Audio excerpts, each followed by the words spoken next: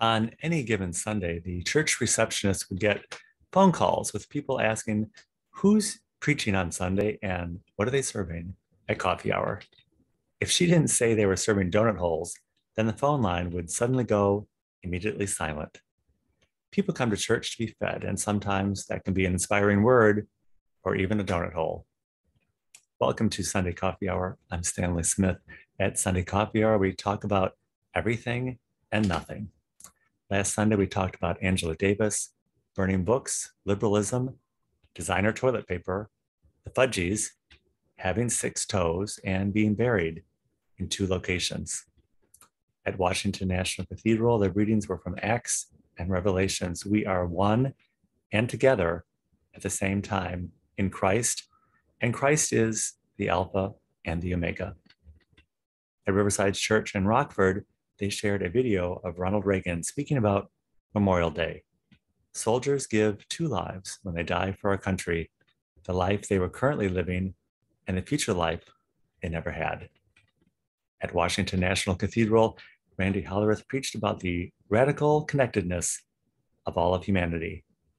He said growing up, his parents would tell him as he headed out the door as a 17 year old on Saturday night remember, wherever you go, and whatever you do, it doesn't just reflect on you, it reflects on all of us, your family. That, that sounds like heavy advice to me, especially for a 17 year old.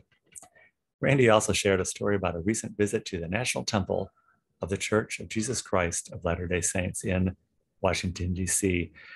He said they saw many interesting things on the tour of the temple, including the bridal dressing suite, which was dominated by two giant mirrors, one at each end of the room. Tour guide told them the mirrors are not there for vanity, but for the bride.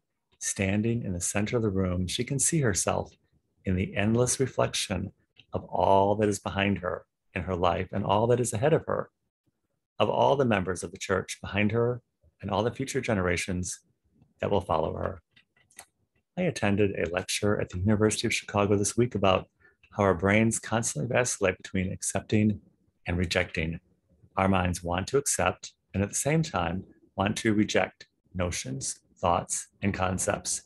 We form our concept of reality based on this process. In any given instance, we accept about 50% and reject about 50%. It's very arbitrary. All the world's religions have something to offer. Religion is how we organize our thoughts and concepts of God. And divinity is how God reveals himself to us. God is a phenomenon. We can never understand or know a phenomenon fully. That's what makes it a phenomenon.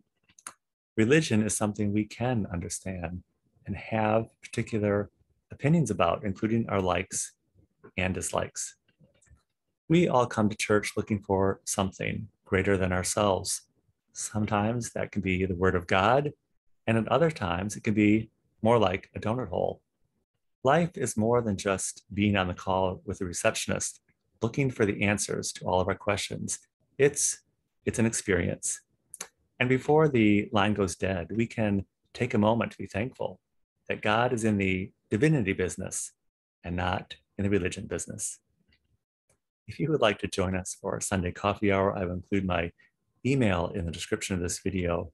And I look forward to seeing you very, very soon.